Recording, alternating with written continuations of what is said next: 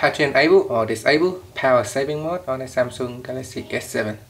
So if you are going to a remote location where it doesn't have a power source, you want to, uh, your phone to last as long as possible. So uh, you may want to turn on power saving mode. To do so, first press on the home key to go back to your home screen. Then tap on apps, go into settings. From the settings screen, tap on battery and then tap on power saving mode also on the information screen here it also tells you how many hours remaining you may have on your phone. Now at the top here there is a switch you can tap on to turn it on.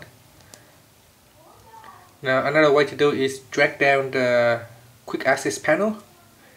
And from here you can uh, go across and tap on the power saving shortcut icon. And that's it. Finally press on the home key to go back to your home screen. Thank you for watching this video